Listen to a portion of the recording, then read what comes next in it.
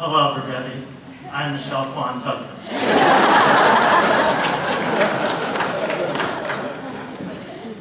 I love you, Michelle. You are the best and the most important thing that ever happened to me. And Mimi, thank you for believing in us and for inspiring generations of Rhode Islanders and for believing that Rhode Island can lead again. Mayor Polisena, your friendship, your commitment to service and to your family has been a personal inspiration. I'm really thankful for your leadership today. And Victor, the courage of your commitment is an inspiration to me. I'm grateful for your friendship and what you will do for the children of Rhode Island will be a guide to us in the months ahead.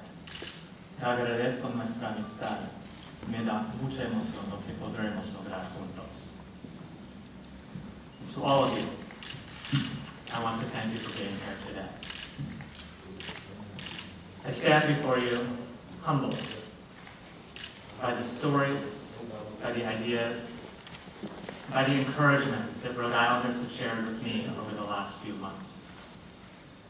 To me, as I know it is for all of you, Rhode Island has always been about family. When I was even younger than I am now, I remember my grandfather would take me on runs, shuffles he called them. And on those shuffles he would point out sites of history and share with me the lessons of Rhode Island's great history. And I remember on those shuffles sharing with him some of the concerns and the worries that I had. And in particular, the worry I had about public speaking. And Grandpa would say, practice, practice. You don't have to be the loudest voice. You just have to speak for those without a voice at all.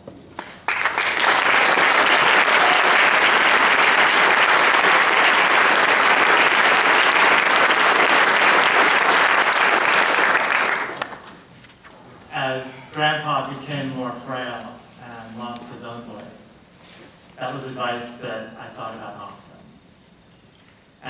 Advice that I think about today is I wonder what he must be thinking as I address a crowd like this here in Providence. I would also like to recognize my mother and my sister who are here with us today. My parents uh, met a few blocks from here as students at the Rhode Island School of Science. My dad joined the Coast Guard straight out of RISD, and it was he who taught me where I came from and taught me and instilled in me a love of the sea. And that wherever I might go in the world, that Rhode Island is my home. My father taught me to dream and never to fear. His dream was to be a businessman. He worked hard and with honesty to build a business and to make it grow. And like so many others, at the time, his businesses got caught up in the savings and loan crisis at the beginning of the 1990s, And we spent a number of years in bankruptcy. What I remember about my dad during that time was how ashamed he felt. But that was never how I felt. I was proud of my dad. He had a dream, and he took a risk. And through it all, he took care of his family and all of those who depended on him. When my father developed cancer at the same time, I remember how he stared that awful foe in the face. He determined that he would never give up. And it was his values that brought me here today. He spent those final months, as he always had, taking care of us and teaching us to dream. And I remember how he spent that final morning at Rhode Island Hospital, fighting, not for life, but just leading, but because it was who he was and who he taught us to be. So for me, as I know it is for all of us, Rhode Island is more than a place. It is our home, and it is worth fighting for.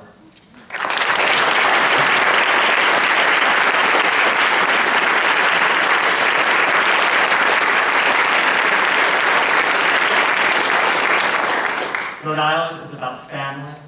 It is about the generation to come and building a future for them, and it is about the dreams that have yet to be achieved. And yet, as we look out from this convention center this morning, there are 50,000 Rhode Islanders looking for a job. This afternoon, thousands will head off to the second or third job of the day at wages well below their potential. Across the state, Rhode Islanders have been squeezed out of the middle class. Businesses have been burdened with process, and state government is often seen as an impediment, not as a partner. As I have spoken with people across the state, Rhode Islanders have shared with me a fear. A fear about the future, a fear that in this state their children may not be able to get a job and to grow a family. A fear and a loss of hope that this state will be able to lead again. And yet, on this frigid morning, in the midst of all of these challenges, each of you has come here to stand with me. I believe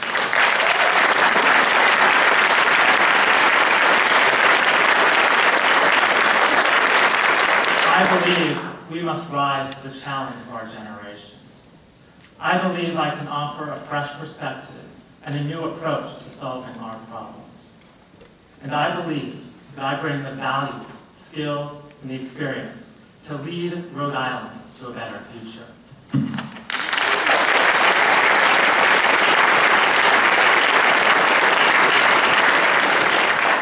That is why I am announcing my candidacy for governor of the state of Rhode Island.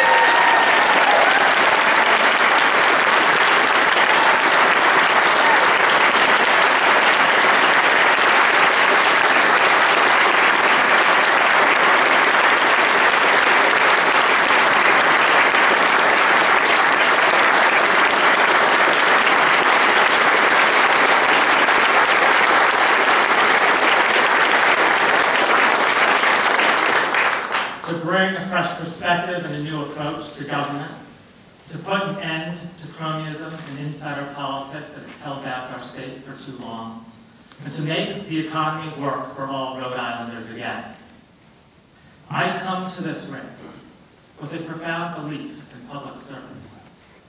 Having served in the U.S. Coast Guard, and having seen all of my life the difference that government action, when done right, can make people, uh, can make in people's lives. You see, all of my life, people have come up to me and told me the difference that a Pell Grant made in them.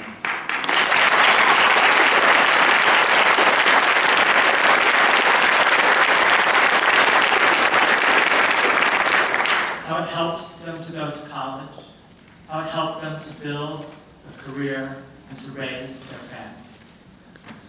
But they tell me also what it felt like to have the country and the state investing in them.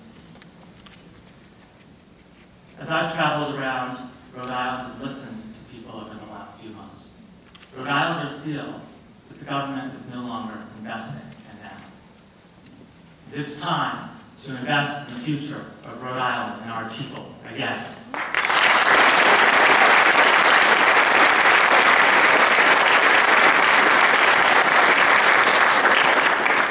As governor, I will make economic growth and job creation our first priority. From the powerful minds of our students to the oceans and our seas, our state has incredible resources and I believe unlimited potential. As governor, I will develop a comprehensive approach to building on those strengths, to aligning our efforts, our energies, and our resources to our areas of opportunity and growth, even at a time of challenge. That is the approach that I learned from President Obama and Rhode Island's own Tom Donilon. As the national security team looked out at the challenges and opportunities facing the nation after a decade of war. And I believe it's that kind of big picture strategy that Rhode Island needs now, so that we don't lose our opportunities even in a time of challenge. And so that we can meet and allocate our time, our effort, and our resources to areas of opportunity and to growth, even at a time of competing priorities constrained budgets. Rhode Island, you see, once grew at the intersection of the, road, of the global economy. And I believe that Rhode Island can grow there again.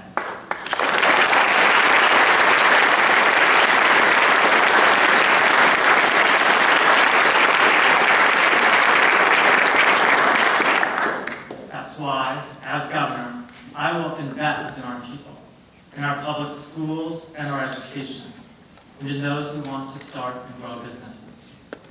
That's why I will invest in our infrastructure, in our roads, in our ports, in our transit, so that people can get to their jobs, and so that people can flow through our state once again. But as with the Pell Grant, our investments must once again begin with our people. We cannot afford education policies that produce haves and have-nots. We must make higher education affordable again. Our focus must be on science, technology, engineering, and math, but also on language and music and art and physical education.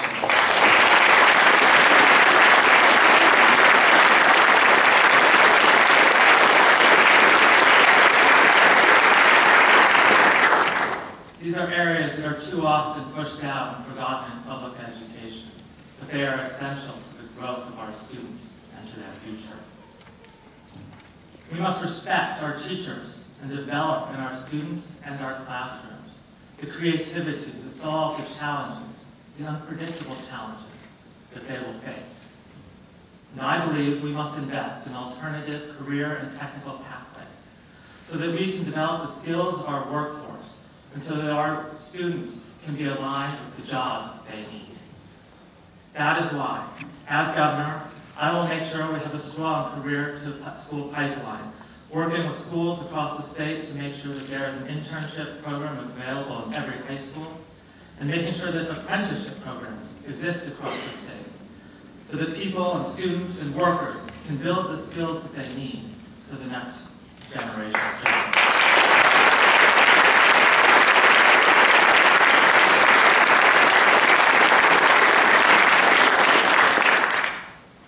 I have seen firsthand the potential of education to make a difference in the economic development of this state. This afternoon, I will visit the International Engineering Program at the University of Rhode Island. This is a program where University of Rhode Island graduates earn a dual degree in engineering and in the world language, enabling them to get high-paying jobs, and a program that has already brought international business here to Rhode Island.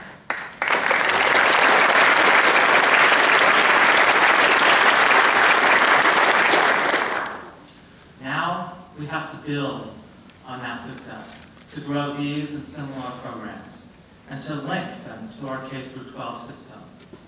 Those were the types of opportunities that I oversaw while running the U.S. Department of Education's International and World Language Programs. And it's those types of programs that we can lead here in Rhode Island. When our students graduate, we need to empower them to be able to stay in Rhode Island to find a job or to start a business. That is why, as governor, I will push for the creation of a $10 million fund that will enable entrepreneurs and businesses to access grants of 2,500 to $25,000. It may not be a lot to some people, but it makes an enormous difference to those who want to start a business.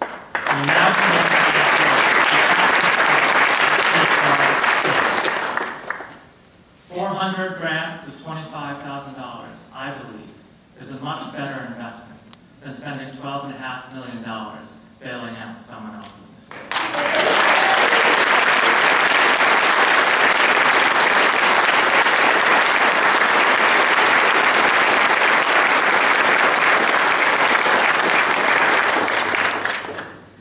And as we invest in our people and our businesses, we must also invest in our communities, in our family of 39 cities and towns. Between 2008 and 2012, direct local aid, excluding educational aid, fell by 70%.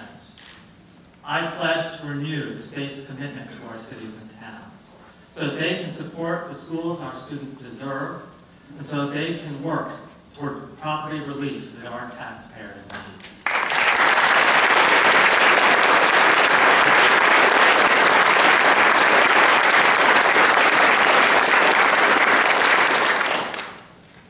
As we empower our students, our businesses, and our communities, we must also invest in the infrastructure of our state, both for jobs now and for jobs in the future. We have to strengthen our bridges, our rail, and our transit system so that people can get to work. And we must invest in our ports and leverage our ocean. Over the past decade, we have seen incredible growth and development in both ports, both at Quonset and the Providence. And we must plan for success and enhance our co- cooperation and our coordination so that goods can once again flow through our state.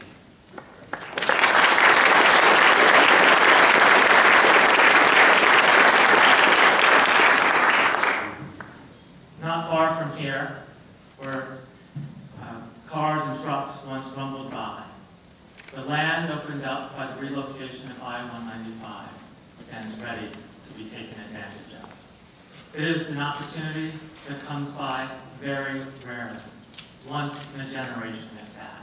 And it is an opportunity that we will seize. We must invest in the parking and transit, transit infrastructure that will allow that open land to be used. And that is why I support and will fight for the proposed parking and transit terminals at the Garrahy Court, Court Complex and at the train station.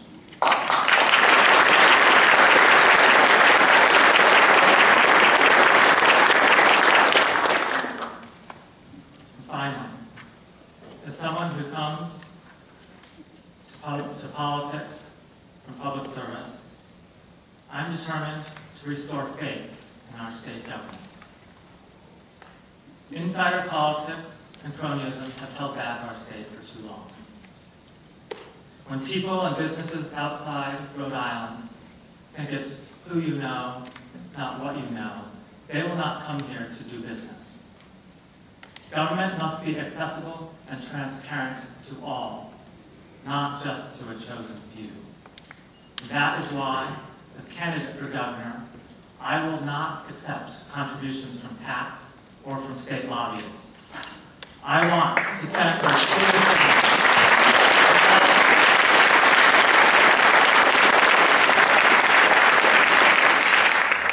I want to send a clear signal to all Rhode Islanders that my office as governor will be open to everyone, not just the select few and the powerful. That is my pledge to the people of Rhode Island.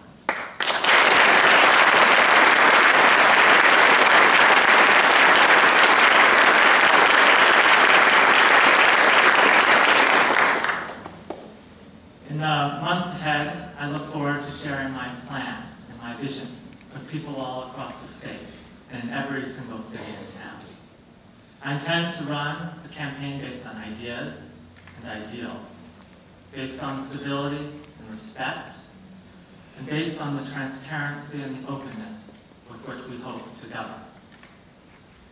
And as we look at that campaign and the challenges that confront us as a state, we will take inspiration from the leaders who have come before us. We have been through difficult times before. I look in particular to one leader, Governor Bruce Sundlun, a man I had the opportunity to know and respect as I grew up. Now, Governor Sundlun was different from my grandfather in almost every imaginable way. But the two of them shared a common understanding, a common sense that to move Rhode Island together, you have to work across all the family of Rhode Island and bring people together for the future.